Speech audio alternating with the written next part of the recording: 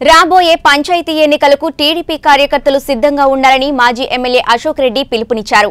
ప్రకాశం జిల్లా గెద్దలూరు టీడీపీ కార్యాలయంలో TDP incharge Ashok Reddy అధ్యక్షతన సమన్వయ కమిటీ సమావేశం నిర్వహించారు.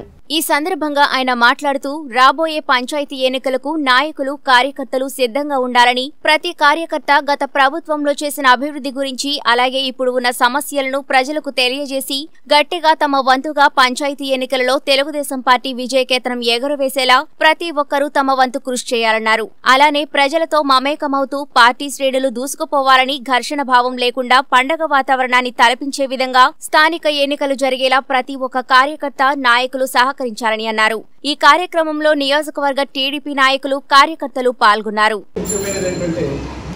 జనరల్గా మనకి అన్ని పండుగలలో కల్లా ముఖ్యమైన పండుగలు ఏమంటామంటే హిందువులకైతే సంక్రాంతి అంటాం మన క్రైస్తవ సోదరులకైతేనేమో క్రిస్మస్ అంటాం ముస్లిం సోదరులకు రంజాన్ అంటాం.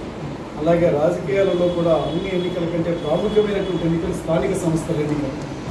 ఈ స్థానిక సంస్థల ఎన్నికలు అనేటువంటిది మనకి ఈ కోలాహలం మొదలు కావడం జరిగింది.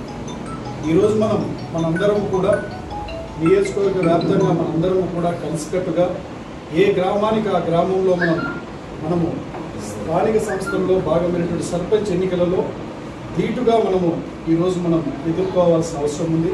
స్థానిక సంస్థలు మొత్తానికి మొత్తంగా మనం ఏదైతే తొంభై నాలుగు మనకి గ్రామ పంచాయతీలు మన నియోజకవర్గ వ్యాప్తంగా ఆరు మండలాలలో ఉన్నాయో అన్నిట్లలో కూడా మనము గట్టిగా మనం అన్నింటినీ పోటీ చేసుకొని అన్నీ కూడా గెలుచుకోవాల్సిన ఆవశ్యకత మనకు ఎంతైనా ఉందని ఈ సందర్భంగా నేను తెలియజేస్తాను.